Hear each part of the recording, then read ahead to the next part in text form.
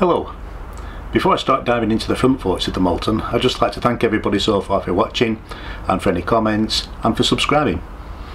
I would also like to thank the viewer that pointed out to me something that I really should have mentioned in the last video. Um, quite rightly, he pointed out that I didn't mention something that perhaps I should have mentioned. So I'll zoom in and show you.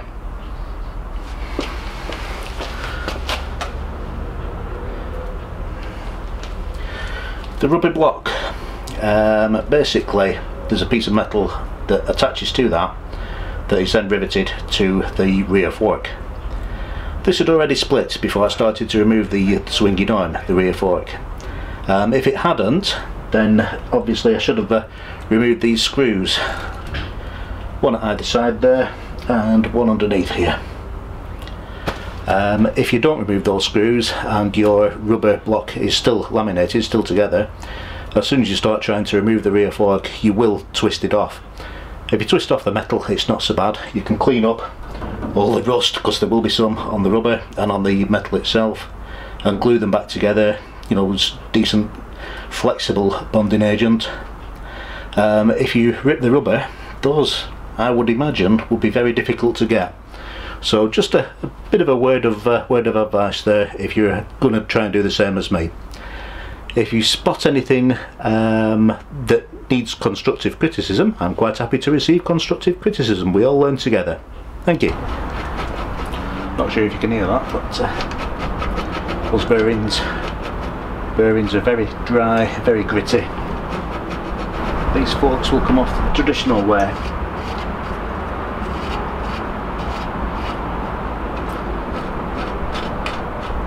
Yeah, someone's definitely been in this before. So that's very, very loose.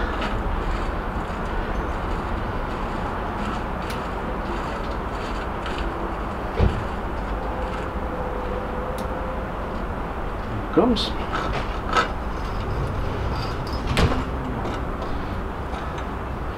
Well, that part was a lot easier than I thought. Ah, the bearings are dirty little specimens covered in congealed rust and old hardened grease. Remove them from the frame from the fork you can probably see that's a bit uh, bit filthy. Hopefully it'll clean up otherwise I'm going to have fun looking for another one. Likewise the cups in the frame very rusty can't really see up there someone's definitely been in it before though. So my next job will be to remove the caliper. And there's also you can see a tube in there that supports well supports a great deal of the suspension basically. The main spring is up there. Um, yeah, never noticed that before. That's uh, been off at some point as well. Hmm. I shall investigate. Right, the front caliper's off. Ready to go in the box of bits. And if I lift up this uh, boot, you should be able to see the splines there that keep the fork pointing the same way as the steerer tube. Now, there is, if you can see it, an aluminium tube in there I need to drift out while preventing the spring coming out and getting me in the eye. So what I'm going to do is refer to the good old internet for the best practice for that. I don't want to uh, cause any damage or uh, get a spring in my eye. The spring is apparently a piece of rubber with a coil around it and that provides the damping and the spring keeps it in the right right azimuth really and stops it binding from the uh, from the steerer tube. There also should be, right up there, you won't be able to see it because it'll be too dark, but there's supposed to be a screw in there. Now I can't see it, so I think someone's been in this before and managed to remove that screw, which is supposedly one of the really difficult bits about this, uh, about rebuilding the forks. There's also there, that needs a C-spanner to remove it um, so there's a few bits and pieces. Uh, probably need to put a little bit of penetrating oil here and there just to uh, yeah make life easier for myself. Okay I managed to get that pin out from there. Drifted out quite easily. And as you can see it's managed to bond itself through rust to the fork which made it a little bit stiffer than it should be but came out quite easily. Unlike this next tube inside there. Not sure if you can see it that well but uh, there's a tube there that this went through and that's bonded in quite well. Right. hmm. Yeah. Bit more penetrating oil I think.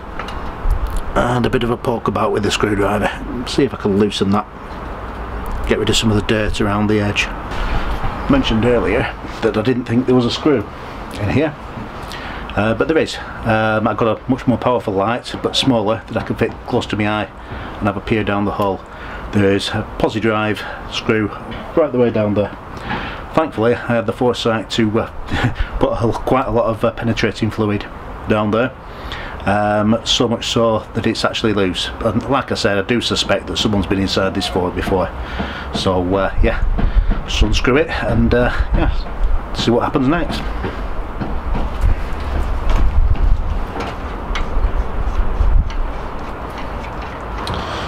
Right, so that should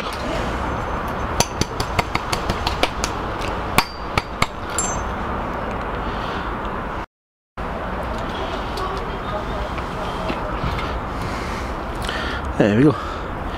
Now that screws out. Set myself up because it's a bit chilly and raining all week. Right, next job is to try and remove, not sure if you can see it, try and remove that that sleeve.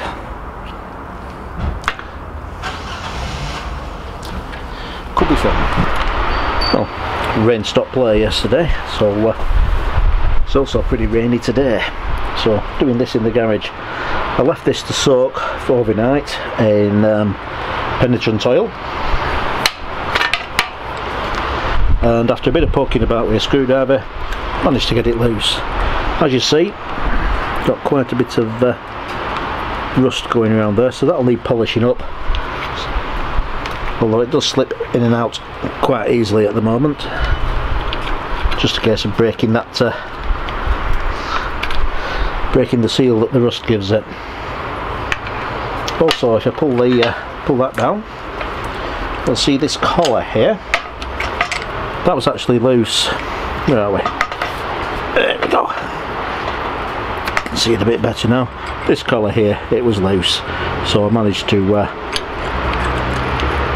undo that. Hopefully the rubber spring should fall out of here. It's not done yet. So uh, yeah it's stuck inside there. I can just see the tail end of the rubber. So I think what I might do is pump the forks up and down a couple of times on the ground see if I can get it at least part way out well I had no joy there. So what I'm going to have to do is um, leave it again overnight or at least a couple of hours uh, with some penetrating fluid in there and see if it uh, hopefully gets through. There's various different types that you can buy. I'm not uh, sponsored by these or anything but uh, Seafoam Deep Creep I found it works. Despite the silly name um, it works very well. It gets in between most rusty bolts and it certainly does help. If you can get hold of this, worth a try if you use uh, use this thing a lot.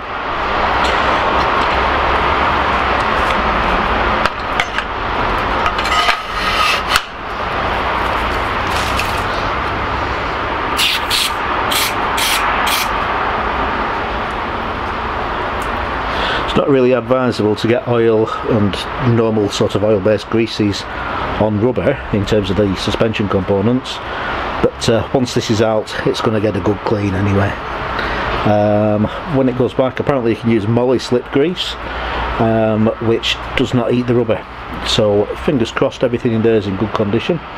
Um, the spring surrounding the rubber is binding to the inside and that's what's causing it to uh, causing it to stick. So hopefully with a bit of luck. This is just forming a puddle at the bottom at the moment, so hopefully it'll find its way through.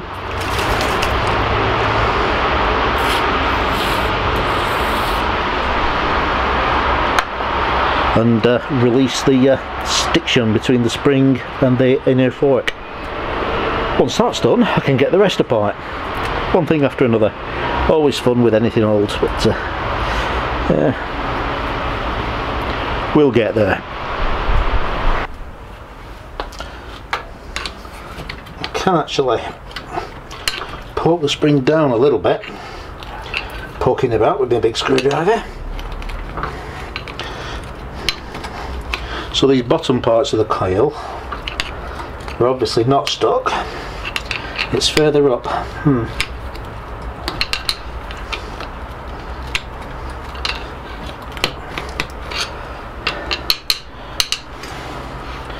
One of the websites that guide you through this process, and I will post a link later, um, they do recommend, if in this scenario, putting a long screw into the rubber and then pulling it out um, using the, the, screw to pull the rubber spring out. I might have to resort to that but hopefully not. Hopefully this will release.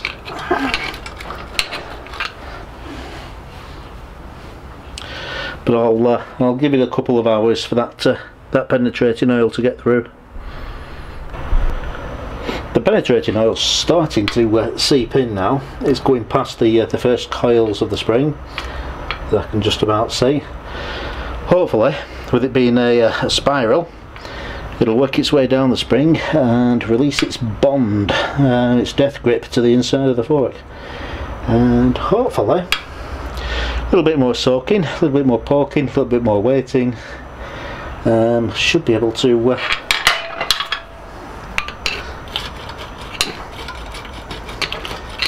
should be able to loosen it, free it from its little trap. Listen that crunch. That's all the rust um, inside on the spring and on the inner tube, inner, inner of the tube. Probably explains why I wasn't getting much um, much suspension on the front there. I think whoever's been in it before mightn't have got this far because they might not have been able to get uh, to get this tube out because it uh, took a bit of doing. Had to poke about a bit.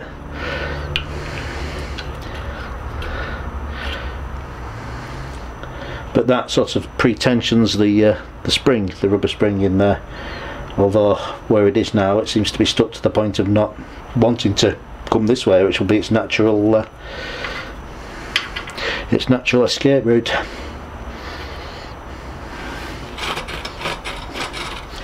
Well, perseverance is the key. Yeah, I'll post a link to the website that uh, gives you some decent instructions on this. The more uh, resources you have when you're trying to do this, the better really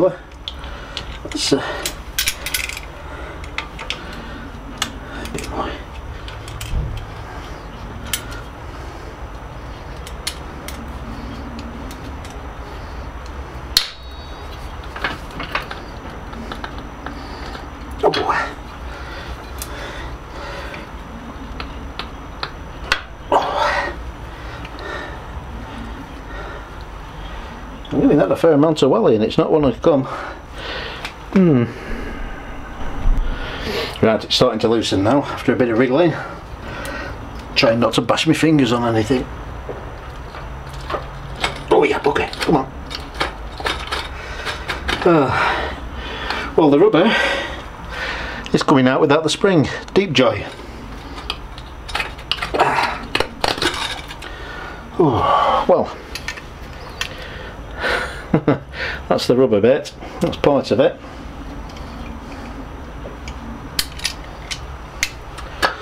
Hmm.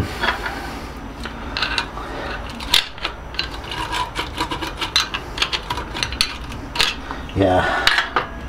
I'll have to rig something up to pull that. Bit of a bent up bent coat hanger or something. Well eventually got there. Unfortunately I had to resort to brute force in the end so uh, can see on the end of that spring you can see how rusty it is as well. Look at the state of that. A, move the light back a bit, might be able to see better. But that's uh, a bit trusty. had to pull and writhe at that, just to get it loose. Um, on the other end of that, which took a bit of getting out, I had to poke it out with a very long screwdriver. That is the retaining bolt, the bolt that you need the long screwdriver for that sits about here the red screw uh, that sits about here. Goes into that. And behind that that's at the other side of these should be something that looks a bit like a car valve spring. That's the rebound spring. Uh, and that's completely AWOL. Um, absolutely out leave. That's uh, that's not in here. Um, so yeah someone's definitely been in it before. Although how they got to that point and not replaced that I've managed to get this so rusted is um, is beyond me Oh well. This spring isn't beyond hope. Um, I mean, it's, it's stretched a little bit, but from what I've been reading online, the rubber provides the actual damping um, and springing as, a rising rate action. This just holds it in place and stops it from deforming too much. So I should be able to get that back in there, um, nip that off and flatten it. Um, they'll probably be beyond bending back really.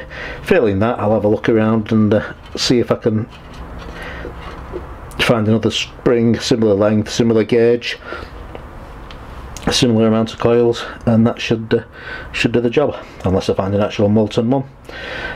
Once those came out um, this just pulled pulled straight out you know of course the uh,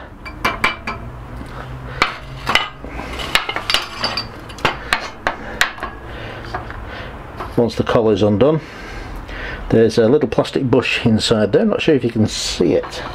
Turn it around a bit. That's a little plastic bush. That connects with these four. Castellations in here. And on the other side of that are splines which of course sit here and stop it from twisting. You know make sure everything's pointing in the right direction. Don't want your uh, forks pointing the opposite way to what you want to go. Um, on the top of there is another bush. Um, little I need to pull that down. There's a little circlip there that's uh, apparently a pain to get out. I'll uh, do that at my leisure? Everything needs a good clean up first. And look at all the rust and crud on the end of there. Let's bring it round. There you can uh, can see it all on there. All from the uh, from the spring. It's just yeah it's just all nasty. No wonder it didn't work properly. Um, yeah got a little bit of straightening out here and there to do and a little bit of cleaning up. But yeah we'll get there. Thirsty work though. Time for a pint